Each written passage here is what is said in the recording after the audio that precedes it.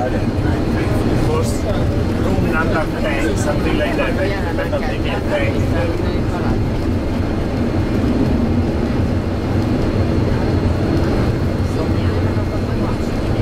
We have other tourists in the room. Bandiera del, dei territori del nord e dall'Australia. Ed ecco l'aeroporto ben mascherato nell'insieme. Avete visto com'è nascosto l'aeroporto? Che non lo vedi appena quando, a pochi metri quando arrivi.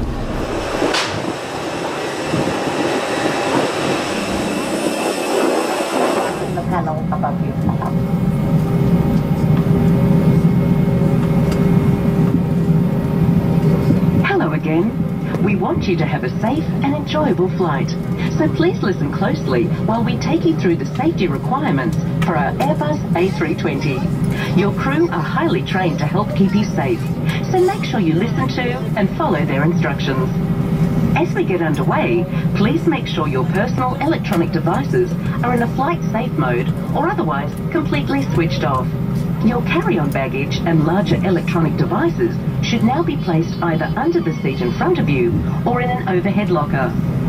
Check that your seat back is upright, your tray table is stowed away, your armrest is lowered, and your window shade is open. The seatbelt sign above you will be illuminated whenever you must have your seatbelt fastened. To fasten your seatbelt, clip the buckle and clasp and pull on the loose strap to tighten. Undo the seatbelt by lifting the buckle flap. The seatbelt is most effective when worn low, tight and throughout the entire flight. Make sure you're familiar with the brace position best suited to your seat. The onboard safety instruction card in your seat pocket shows pictures of your brace position, along with other important safety information. The A320 has eight emergency exits, which we'll now show you. Two at the front, four over the wing, and two at the back of the cabin. Lights will illuminate, showing you the path to follow to these exits. If we need to leave the aircraft quickly, taking your personal items with you will slow you down, so please leave everything behind. If a mask like this appears from above you, pull it down firmly to start a supply of oxygen. Quickly put it over your mouth and nose, and breathe normally. Keep the mask in place by fitting and tightening the strap, and then help others around you. There is a life jacket located in the pouch under your seat. If it is required, remove the life jacket from the pouch, place it over your head, pass the strap around your back, clip it at the front, and then pull on the loose strap to tighten. Only inflate your life jacket as you leave the aircraft by pulling down on the red tags.